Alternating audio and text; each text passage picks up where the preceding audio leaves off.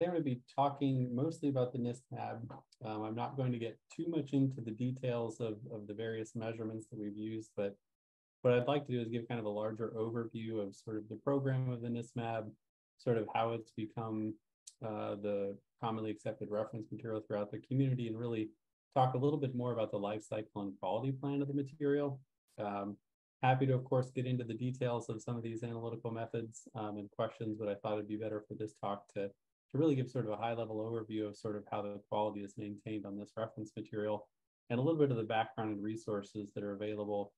But sort of aside from a lot of the uh, scattering and neutrons and macroscale measurements, but more a little bit on the line of uh, the, the more commonly accepted, well-characterized biopharmaceutical methods that are more routine in uh, characterization and quality control of these materials. So we'll start off with a standard disclaimer that I'll probably show some values today on the slide. You'll see some numbers, but again, note that there's always a reference material certificate. We call this the reference material information sheet.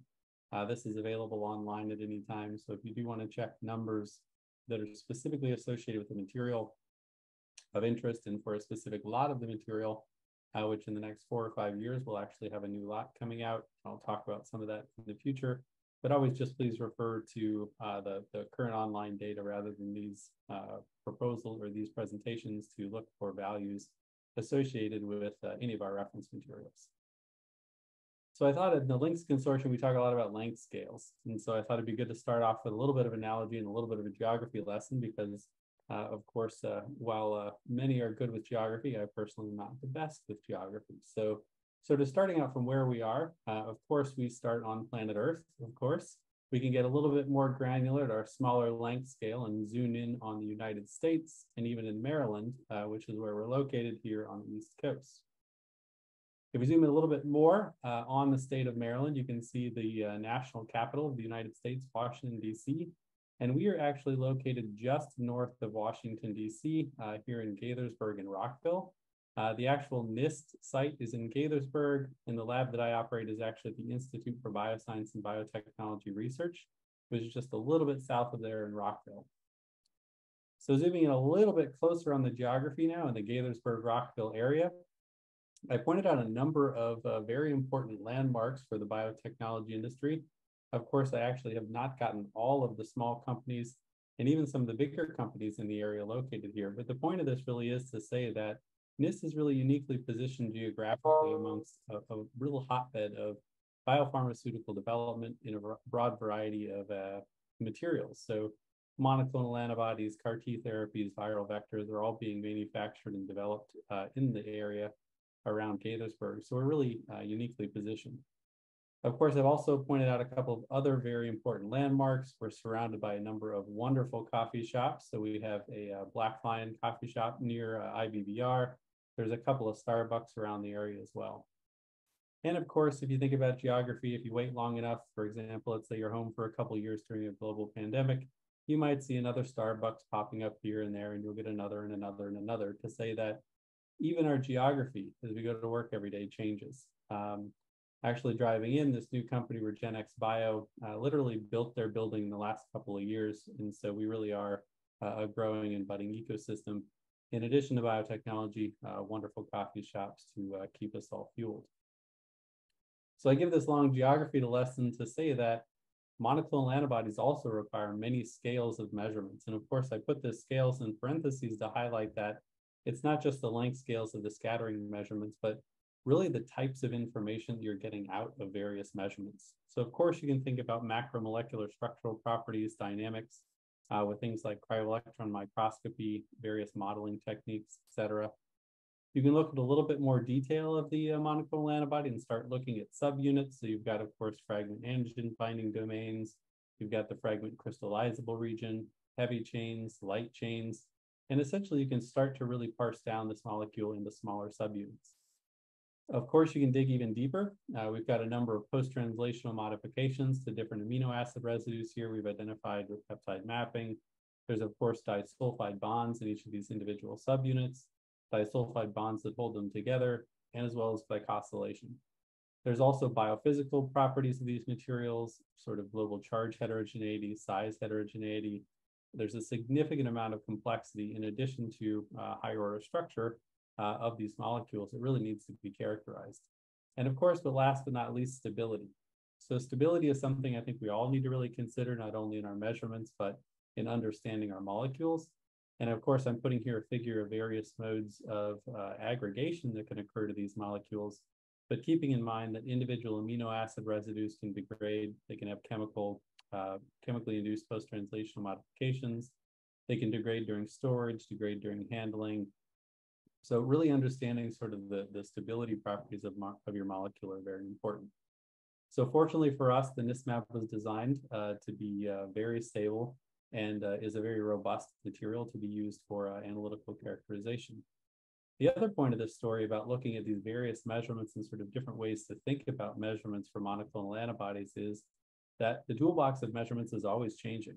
And this is actually one of the impetuses for beginning the NISTmAb reference material is that the landscape for measurements is always evolving. So daily you'll see a, you know, a new report, a new mass spectrometer, a new HPLC that can give you higher resolution, higher performance. And so we really need some sort of test metric to follow this evolution of analytical methods and really understand the capabilities as they evolve over time. So taking a little bit of a step back and uh, talking a little bit more about NIST before we get into uh, the reference material. So NIST is actually a non-regulatory agency within the US Department of Commerce. So we don't actually regulate biopharmaceutical products, but we do contribute technology, measurement science standards, uh, and really innovation with our biopharmaceutical partners to try to really enhance the economic security of the United States, improve the quality of life through advanced measurements and uh, facilitating development of these biopharmaceutical products. So we do this program in biomanufacturing. Uh, this started roughly uh, eight or nine years ago. Uh, the program, of course, has developed that measurement science and standards associated with biopharmaceutical manufacturing and characterization. So in this mission, we work very closely with our other federal stakeholders to really understand the challenges of the biopharmaceutical community. We work with instrument vendors quite a bit. And of course, we work with the biopharmaceutical community to try to tackle those measurement and standards challenges that face them every day. So to do this, we draw on a very broad uh, array of expertise. So of course, you have folks like myself that are analytical chemists, but we also have a wide variety of uh, expertise in uh, formulation, higher order structure measurements, um, things like cybersecurity. There's even a fire research department at NIST. So uh, we have a very, very um, complex set of expertise that we can draw upon. And I think last but not least, and I mentioned this before, we really are non-regulatory. So one of the advantages that we have is we can work very openly with our stakeholders and we're not worrying about intellectual property uh, uh, concerns associated with the products that we're measuring the technologies we're developing so we can really try to benefit the uh, community as a whole as opposed to working on a, a, specific product for a specific company. So NIST, as I mentioned, has a pretty broad array. And of course, we're talking about biopharmaceutical manufacturing today. Let's get a pointer up here really quick. So of course, we're talking about biopharmaceutical manufacturing today, but there are a number of other programs in industrial biotechnology, regenerative medicine, and again, many, many, many other programs um, that uh, could be discussed that are related to uh, the biopharmaceutical manufacturing. So the reason we're able to get our hands in so many different areas uh, of important to industrial commerce is we have a, a large uh, infrastructure for this basic research as well as applied R&D. So we have a significant amount of infrastructure for measurement for various biomolecules from proteins to DNA to metabolites, we have large uh, infrastructure for uh, cell-based measurements, uh, growing cells, bioreactors, and we're building out more and more bioanalytics to help measure the processes of biopharmaceutical manufacturing. So the essence of this is really we do have a large measurement infrastructure, uh, many, many tools that one would envision uh, to be used to characterize biopharmaceuticals, as well as many innovative tools uh, are available to measure a wide variety of properties of importance to the community. So we often use these uh, fundamental research tools to better understand the standards needs of a particular uh, industry. And we'll develop a physical test metric, perhaps a documentary standard, uh, to facilitate then characterization or some mode of industrial commerce. So a couple of examples that I put over here, uh, there's a genome in, in, a bottle consortium. Uh, this actually has developed a, a DNA material that's useful for uh, calibrating and understanding the depth, accuracy, and precision of next generation sequencing. So we have a number of uh, bio-related materials that can help with things like PCR and NGS. Uh, but also we have the NIST monoclonal antibody, uh, another one that I'll highlight today and we'll talk about mostly, uh, which of course is intended for the biopharmaceutical community. So again, these are just representative. Um, you can find a uh, thousands of reference materials uh, at our uh, reference materials shop um, online and sort of peruse them. There's actually recently a YouTube video as well uh, that I should have highlighted today. Um, if you, you can find it, it popped up on NIST that talks about the reference materials program uh, in a much more broad perspective. And you can really see the diversity of materials from homogenized meat products to uh, Sharpie pens all the way to these uh, biopharmaceutical related manufacturing standards.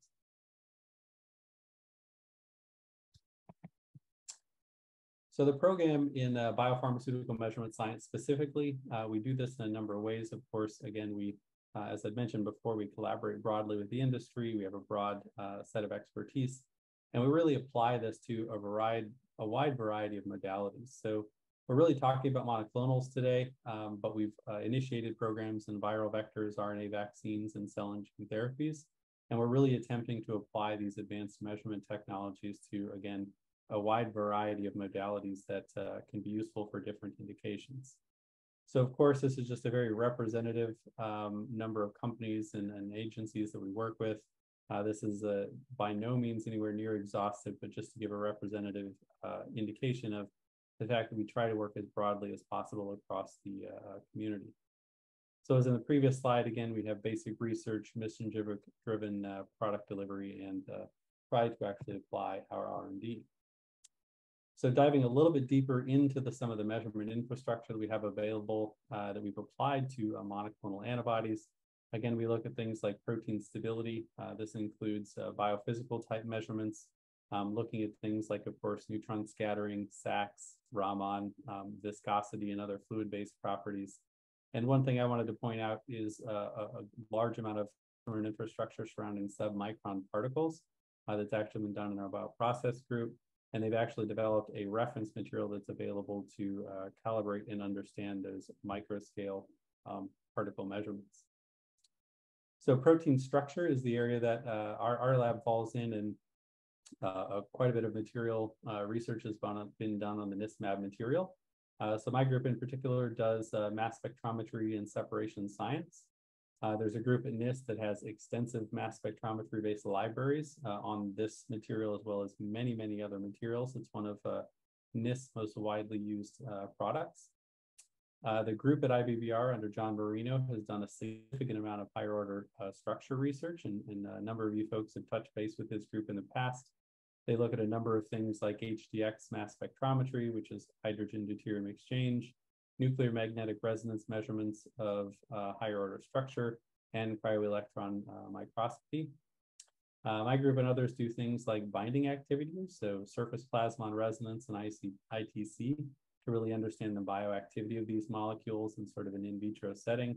And of course, uh, other protein folding and a significant amount of work of simulation that again uh, some of the NIST experts are contributing to the LINXS consortium uh, in this area. So last but not least, one thing I won't talk too much about today is our uh, production cell science group as well. Um, so we're really getting into expanding some of the principles of the NISTmAb and reference materials to cells. Uh, and literally within the next few weeks, uh, we'll actually be releasing our first living reference material. Uh, this is being developed by Zvi Kelman and Brad Odell at NIST.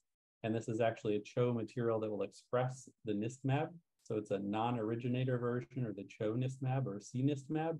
Um, so essentially it should have the same salient uh, amino acid sequence, but of course it's expressed in a different CHO host. So we're calling it a non-originator uh, material.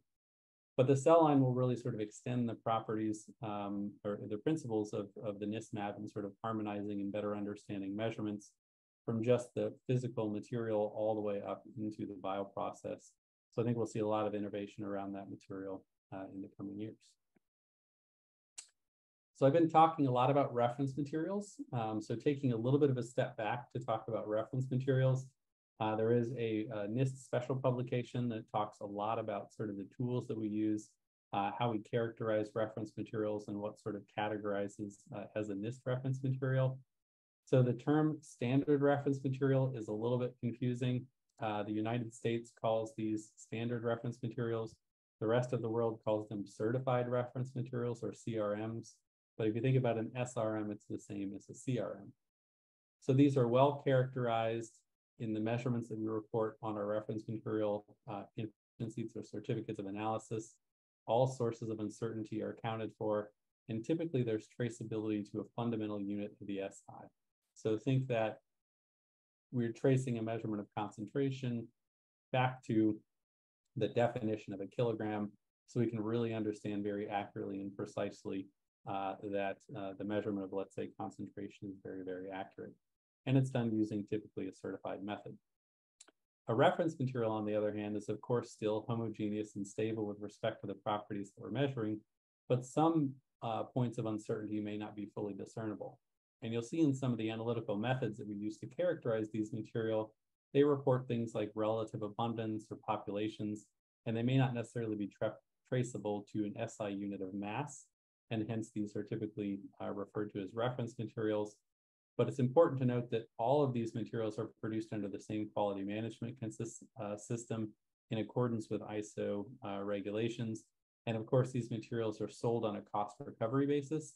So we're not for profit. We are part of the US government. So essentially, the amount of money that's put into a material needs to be uh, recouped by the federal government to basically support uh, continuous monitoring of the materials and development of uh, new reference materials to again support uh, commerce. So there is another um, type of material that actually grew a little bit out of the NISTmAb, and we'll see in some of the life cycle management work uh, that's called a research grade test material. And so these are materials that need to get out of uh, NIST quickly. They need to be available to the community quickly uh, to develop measurements that are of, of great need. So NIST does a limited quantity of homogeneity and stability um, and puts that material out uh, into the wild, into the public for additional use to evaluate its material properties, sort of inform NIST on what additional measurements may be needed. And eventually those RGTMs will uh, graduate, if you will, into a uh, NIST reference material. So moving on a little bit to monoclonal antibodies uh, as a standard, I think I talked, you know, a little bit about some of the um, complexity of these materials, um, starting to think about the various aspects of post-translational modifications, linkages with disulfide bonds, um, things like post-translational modifications, including glycosylation, um, and of course, higher order structure. So you can really think about uh, monoclonal antibodies as, as, you know, a very complex mixture of very highly similar species to one another. But of course, every monoclonal in this mixture is not the same. So think about all of these possible permutations in the single individual molecule, and you can tell that its cousin molecules that are next door may have different levels of, or different oxidation at different points. They'll have a different glycan attached. It could be folded in a different manner. So it really is a heterogeneous population of very similar molecules. But one thing you'd think about, even from a specific monoclonal antibody of the same sort of constituent amino acid sequence, um, is that although it's very heterogeneous, all monoclonals that are, of course, of the same class have very similar properties as sort of a general platform approach. So all of them have post-translational modifications, all of them have the same general structure, they all have the same canonical disulfide bonding pattern. So as a class, they actually share a lot of the same attributes. So in thinking about a measurement standard that can be used to sort of understand, harmonize, and evolve analytical measurement technologies, you actually can use one molecule to really understand the performance, at least initially, of an analytical method. Of course, you'll need more monoclonals to understand whether that analyt analytical method is broadly applicable or platformable, but at least understanding the initial characteristics and the fundamental performance metrics of an assay can really be done on a commonly accepted, well-characterized molecule. So around 2012, uh, we actually started to uh, talk to the community and ask them about making a reference material. This idea actually grew out of uh, a number of glycoanalytical methods that uh, I was developing in NIST at the time. And the thought, again, from uh, talking to the community was that you know, everyone should be using a common standard. It would be great to have a large amount of this material that we could all share and discuss analytical performance methods. And of course, the more robust methods we have, uh, the better off. And of course, we could develop those methods better and better and better if we had a shared understanding, a shared test metric uh, that we could all discuss in an open environment. So the vision of the NISTmAb, of course, was that we would have a publicly available biopharmaceutical grade material. So of course, we didn't want this to be a regulated product. We didn't want it to be something uh, that was actually a therapeutic uh, marketed on the drug on the uh, the market for use in patients, but we wanted it to be representative of one of those drugs. So the idea is it's an open innovation material. It's voluntary, not something that people are required to use in order to develop an actual drug product, but something that can facilitate developing their measurement infrastructure along the way. So we wanted this to material to be very exhaustively characterized and not just at NIST. We really wanted to get the industry and the community involved in the characterization. So the first thing we actually did with this material was we sent out uh, the first lot, uh, which is actually called primary sample uh, 8670, which many of you uh, have uh, used in the past. So this material was actually shipped around to about 100 participants who uh, essentially characterized the material using a wide variety of assays. In most cases, we actually tried to recruit um, a number of laboratories running the same analytical method. So we had everyone run their platform peptide mapping assay, for example. They would come back together, discuss the analytical results, and then write a chapter about it. So the ACS books are really sort of a culmination of both background on the current state of uh, characterization. And by current, I mean in 2015, um, along with a series of data uh, that characterizes this molecule with just about every analytical technique that was available at the time. So this is a wonderful place to start um, if you're looking for, uh, you know, what a number of the state-of-the-art analytical methods are. And they have certainly changed over time in the last five years, but I think a lot of the principles and sort of this foundational uh, characterization data for this molecule uh, really still, of course, holds true today uh, and gives a great overview of, of the types of analytical methods that are used to characterize these materials. So following the ACS book, of course, um, and uh, you know this this foundational characterization, uh, NIST, of course, then had to assign materials to this value, make it then more broadly publicly available, and I'll talk about that uh, in the next couple slides. So the uses of this material, I think, really are broad, and I'll try to cover those today. But um, you know, sort of a vision for it, it really is to address shared challenges, uh, advance analytical capabilities uh, to better understand their performance metrics, and really evaluate sort of, I call this the regulatory readiness, but you know, how appropriate and where to implement a particular measurement tool. Because you don't only need measurements at lot release before it goes into the drug, you need measurements during the process, you need it during development, you need it during understanding the properties of the material far before uh, the commercial stage of manufacturing. And not every analytical method is well suited to being a lot release assay, but its importance can still be uh, very great in understanding material properties, looking at stability, monitoring the reference standard for a particular material, et cetera. Uh, and we hope that the, uh, the NISTmAb can sort of help to define where and when to use uh, certain analytical methods. So a little bit about the uh, life cycle management. So I had mentioned in the previous slide that we did the uh, uh, community-wide crowdsourced characterization as part of the ACS uh, book project. So again, the material was actually received at NIST at 100 megs per mil uh, in these Sartorius sedum large bags. So we actually took one of these individual bags and diluted it out, and we call that plot primary sample 8670. So this material was used for the ACS books. Uh, this material was used for method qualification that I'll talk about in the next slide. Um, and it's used for internal research. So when I say internal research, I say uh, initially, uh, and especially when we need high concentration materials, primary sample 8670 is to go to. When you need low concentration materials, we'll actually use the reference material because again, that is the material that's broadly available to the rest of the community. But the reason that we had this primary sample was, of course, so that one, we would have material quickly available for the ACS books. So this is analogous to what we would now call a, a research grade test material. But also, this becomes our internal primary reference. So the 10 mg per mil version of 8670 is reserved for NIST internal use only, and only as part of the measurement infrastructure to maintain the quality of this material. So this is actually modeled just as a biopharmaceutical company would do we have a primary reference with which we always refer back to as system suitability to understand the material properties. Now to make commercial material, uh, we actually mixed a number of these individual bags. And we did this on purpose uh, so we would have a large supply of the material that was homogeneous and didn't have batch to batch variability. So we didn't want over the long term to have to make new batches of this material um, that uh, would eventually uh, potentially have different, uh, different properties due to batch to batch variability.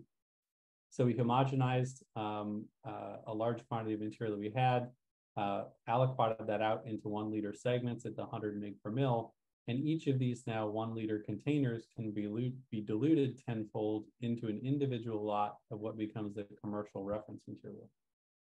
So this broadly available uh, 10 mg per mil, 800 microliter per uh, per vial is actually what one can purchase from the NIST uh, website. And this is the official material that's called a reference material 8671.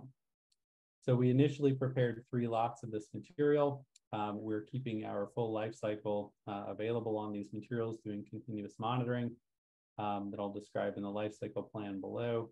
But again, we also have multiple of these uh, one liter materials available that we can always dilute and vial more uh, RM8671. And because again, they were homogenized uh, based, if their stability maintains, uh, again, they'll have the same properties. So looking a little bit more at the life cycle plan, um, this sort of describes what I just talked about a little bit more detail. That one uh, container of bulk was actually used as our in-house primary sample, as well as our high concentration sample. Of course, some of this bulk is what uh, the folks doing neutron scattering and high concentration work are actually using as the primary sample. Uh, the rest of the bulk was mixed into uh, the standard lot, which can then be diluted into individual commercial lots. So when I talk about the life cycle plan, what I'm really talking about is uh, having sort of a traceable set of physical materials that we can actually compare our analytical methods to. So again, our large scale characterization effort initially was done on primary sample 8670. So in theory, this is the material that we know most about. This is the material that we've used the most, and we use this material every time we run one of our analytical assays as a system suitability sample at least initially. What we then did is essentially use the primary sample in our measurement infrastructure as our in-house standard. We use that to qualify um, one of the lots of materials, our working lot. So now when we run day-to-day -day measurements, we always run this working lot of material at the start and at the end of our analytical sequence. So this tells us that our analytical method needs to perform in accordance with our historical uh, method performance data in order to say that that method is in fact control, in control. Once that's the case, we can then measure whatever uh, monoclonal antibody we want in the middle, uh, any other samples of NISTmAb or produced NISTmAb or external materials, and we know that our method is performing. Now, again, we'll still use uh, this primary sample 8670 when we do our stability verification.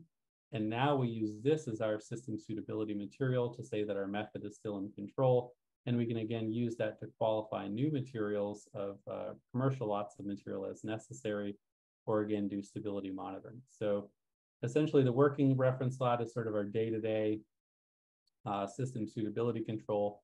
But we, when we need to evaluate uh, reference assignments or assign new values to a new lot, we'll actually make sure our methods are in control with our primary sample, which again is our in-house only material.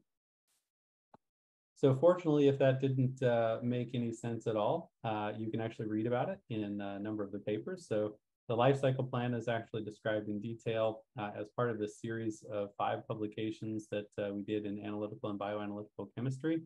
Uh, these are all open access uh, journals. But essentially what this describes is that long-winded life cycle plan that I tried to get out of one slide a moment ago. It also then discusses the qualification where we took the purity and stability indicating methods, at least a select number of them, from the ACS books. We further developed them and qualified them in the next two publications. So this includes things like CIEF, uh, which is used for charge characterization, capillary zone electrophoresis that's used for charge heterogeneity, a number of size heterogeneity based methods, so capillary electrophoresis uh, SDS. So this is basically looking at fragments of material, size exclusion chromatography, which looks at aggregates, dynamic light scattering for uh, hydrodynamic radius, and MFI or microfluidic imaging to look at particles of the monoclonal antibody. Of course, we also developed a uh, well-characterized peptide map uh, that has a robust digestion procedure uh, that can be used to verify the identity of the molecule. And then we used all of these methods in a value assignment to actually assign values to those three individual lots of material. So essentially, we have, have a life cycle plan, qualified a variety of analytical methods that are stability and purity indicating, and then we assign those values to the NISTmAb, again, using that measurement infrastructure that I described on the previous page. The values then for this assignment are available uh, online using this reference material information sheet. Again, each lot of materials that comes out will have its own set of assigned values, but it's worth noting that again, most of these are going to be equivalent. And in this last paper, we actually verified the equivalence of the first three lots. So we do actually assign specific values based on the measurements, but statistically, uh, they are the same molecule as they should be because we did that homogenization uh, as part of the life cycle plan. So stability monitoring is, of course, extremely valuable to these uh, materials. So, of course, if you have the NISTmAb today and you have the NISTmAb in five years, the hope is that you're getting the same material. So we do a consistent stability monitoring program, and we actually update and verify our uh, public reference material information sheet uh, at least every five years, although we're doing a number of these measurements pretty consistently in our lab so we're also sort of continuously monitoring the stability of this material. So this is a very complex process when we do sort of our formal evaluation. Uh, it involves getting instrumentation, a homogeneous sampling of, of the remaining sample in the lots. So we typically get about 10 different vials of material across uh, the entire lot. We have to organize our analysts um, and really kind of then facilitate uh, data collection. So the data collection analysis, we actually do this for all of the property values that are on the reference material information sheet. So this is each of the methods that I showed in the previous slide. Those methods, of course, as I'd mentioned, must conform to performance standards. So this is using a method-specific uh, instrument qualification standard, as well as that primary sample 8671 to ensure that the system is suitable. Um, so we essentially go through data collection, again, of uh, numerous samples uh, that are um, selected throughout the lot. We document each of this with internal reports, and there's actually going to be a uh, external report uh, coming out very soon that's uh, much more detailed uh, NIST special publication that talks about all the details of this stability monitoring um, for at least our five-year time point. This then goes through a series of submissions and reviews, internal paperwork, um, evaluation of the statistics by our, our uh, statistical department. And ultimately, what you see is again an updated version uh, of that reference material information sheet. Now, of course, what we hope in the stability monitoring is that all values are consistent with the original value assignment, no values have changed, um, and the material is stable and homogeneous. And this, in fact, was the uh, conclusion after five years, of course, that all of our methods uh, are still in check and we still have a very stable uh, and homogeneous molecule. So just to go through a little bit of an example of what one of these analytical methods look like, um, this is one analytical method that I sort of uh, preach that everyone should run, especially if they're storing their material for long terms, if their measurement is a very long, long measurement. Uh, doing something like SEC pre and post can assure that there's no degradation. Um, but essentially making sure that the uh, molecule is not aggregating. So size exclusion chromatography is a separation-based technique that's done uh, based on size. So essentially, smaller molecules can get into the pores of particles, larger molecules are excluded.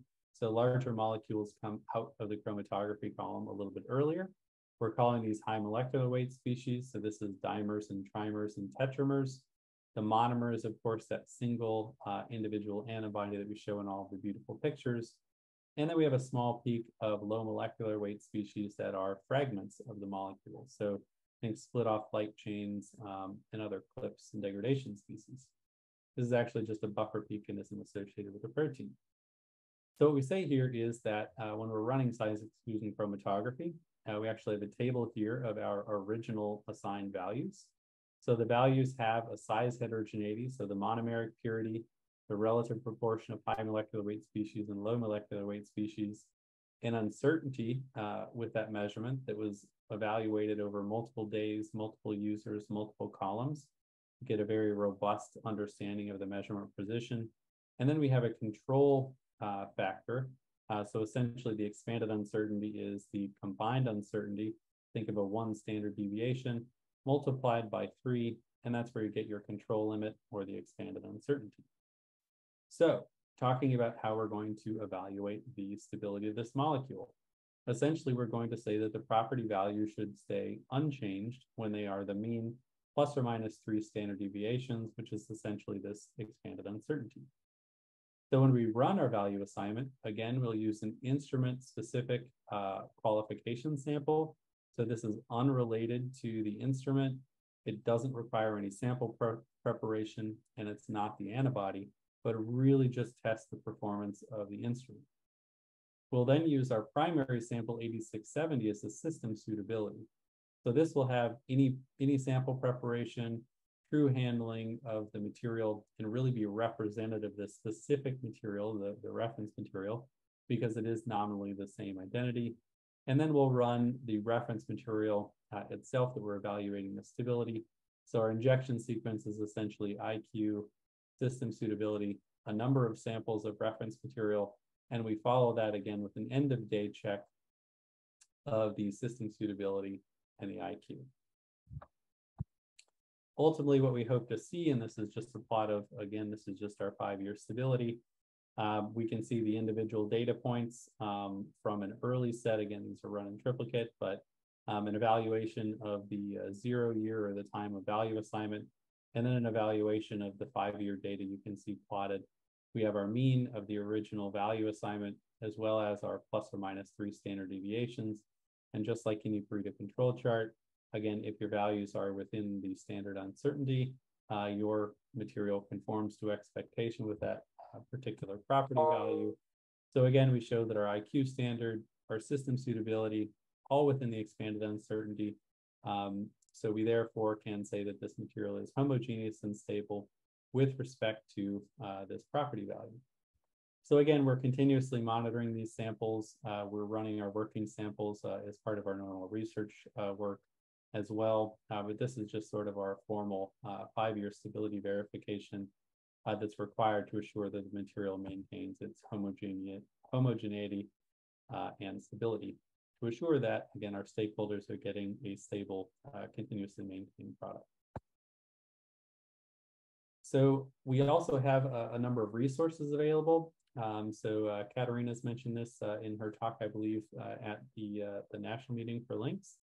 Um, so the NISTmAb resource portal is somewhere where uh, everyone can sort of go to get certain information about the material. So you can always go back to a program summary that's on the NIST main page that we're updating uh, actually at the moment. Uh, but you can also look at the featured publications. So this is really the ACS books, the ABC publications. These are sort of the things that I talked about that are related to uh, the life cycle and quality of the material. But we also have a list of publications of the NISTmAb that are uh, continuously being updated. Um, so this is any publication that someone published the word NIST NISTmAb one word or NIST space mab two words. Uh, so we sort of cover all of the ground. Um, but this is where you can really go to quickly find a list of, of who's publishing what uh, on the NISTmAb, both internally and externally, um, and sort of really see the full uh, list of, of uh, publications coming out of that. In addition, there's this frequently uh, asked questions page that has uh, a number of sort of commonly asked questions related to formulation um, and other things that might come up quite often the NISTmAb. So one of the ways that NIST has actually used the material uh, is through technology maturation. So again, I'd mentioned that NIST has a very uh, large program and a wide variety of analytical measurement techniques, um, everything from biological activity all the way to this uh, very, very detailed characterization of higher order structure with neutron scattering, cryo-EM, NMR, and even very detailed multi-attribute mass spectrometry. So again, I've talked about this a number of times that technology really matures. Um, you know, separation science started with only gels. Not to say that gels aren't still important in understanding molecular properties, but you know, this has advanced a lot now to capillary-based methods and these really high-resolution analytical techniques. So our measurement infrastructure is really focused on uh, sort of evolving these analytical measurements and trying to better understand a number of these really high-resolution characterization technologies.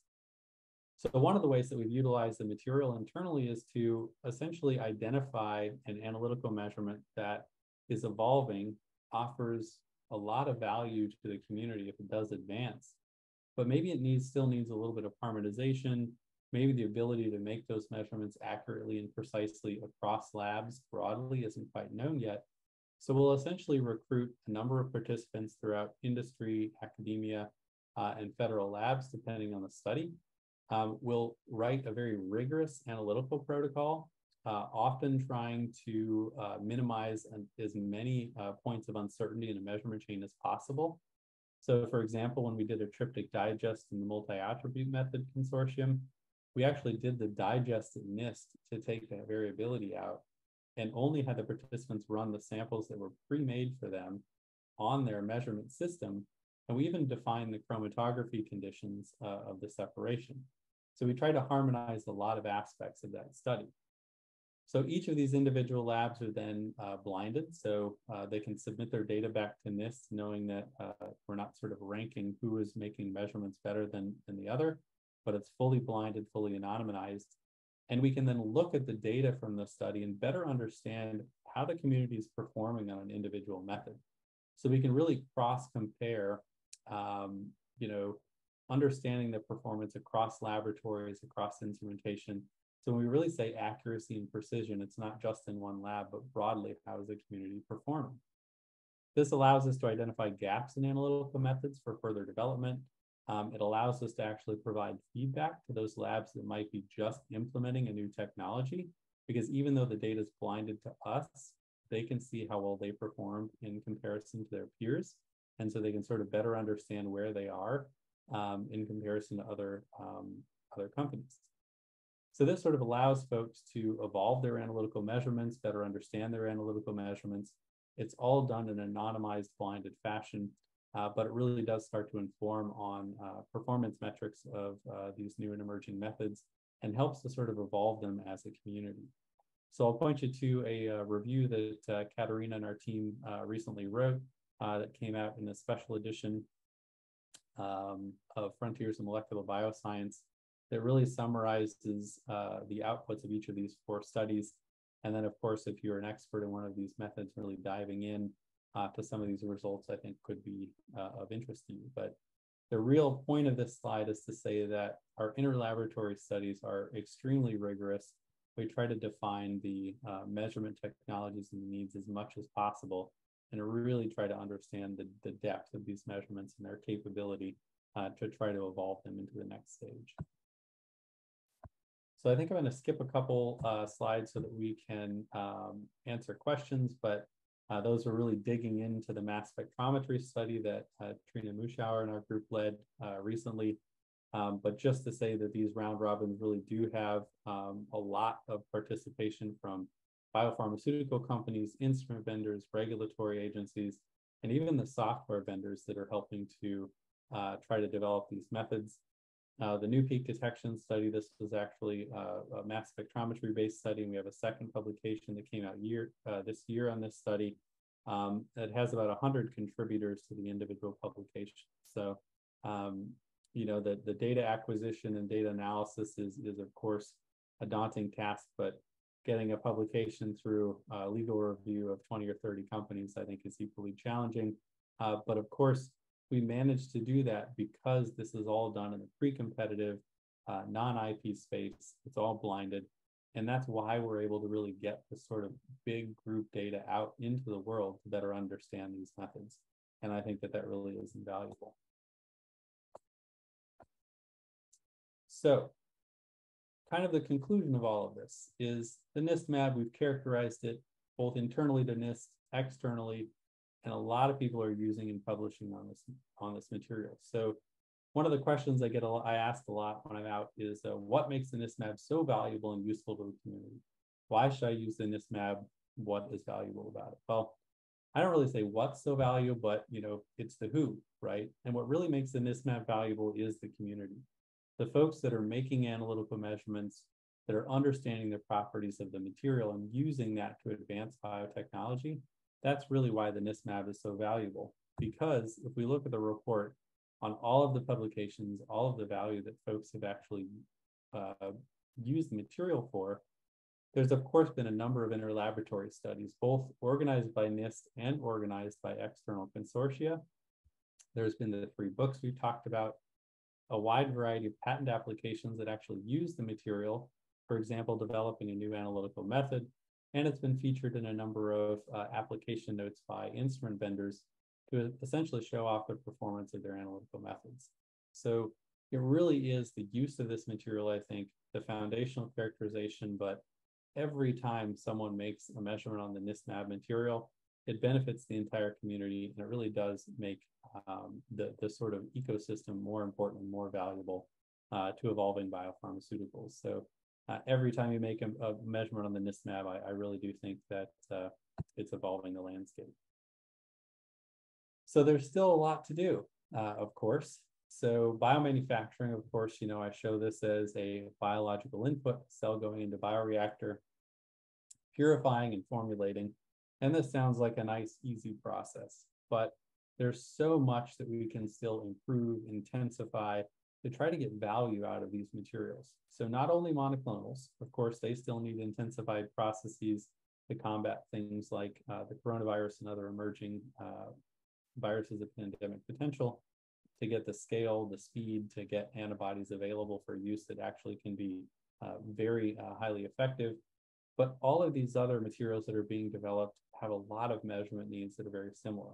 Adoptive cell therapies, mRNA vaccines, um, and viral vectors all share a lot of the same measurement needs to understand identity, potency, purity, uh, and stability. In addition to that, there's of course a large amount of bioprocess measurements. So again, we need to start thinking about moving analytical measurements more online to make things faster. There's modeling and simulation of these products. There's still a lot to understand about the formulation, especially at very high concentration, um, and a lot of modeling and digital twinning to be done in the bioprocess. So safe to say that while the, the industry is very well developed, there's still a lot that can be done. And I'm very thankful that LINXS is uh, using the NISTmAb and tackling, you know, one of, I think, one of the most challenging uh, portions of this is really understanding that macro scale uh, dynamics of the molecules and how that relates to formulation and stability. And again, having that data set available to the community is going to be a, a huge opportunity, I think, um, for developing new modeling and simulation methods um, I was mentioning to Mikhail that literally just this week we got a question about how sticky is the NISTmAb and you know how can we better understand those properties of the materials. So uh, again, I think we're in a great space uh, with this consortium and uh, very happy that you all are working on that. So the global conclusion is, um, you know, we at NIST really want to help to, to refine and uh, help evolve analytical test methods, and we do that of course, in collaboration with uh, everyone in the ecosystem.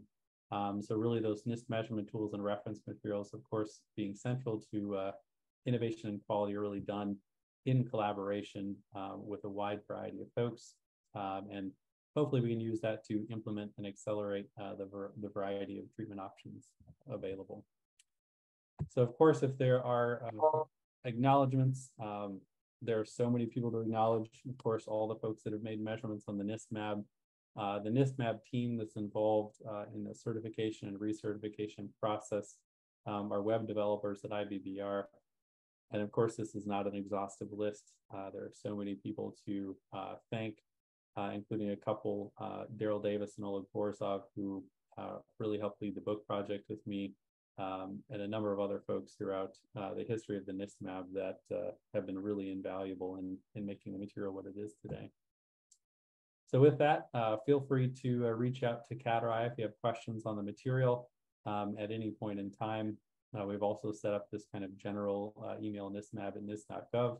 Um, but of course, you all know Kat and I, if you have questions about the material, feel free to reach out. Um, and with that, I'd be uh, happy to open up to questions. Uh, I think I left a little bit of time. And thank you all for having me.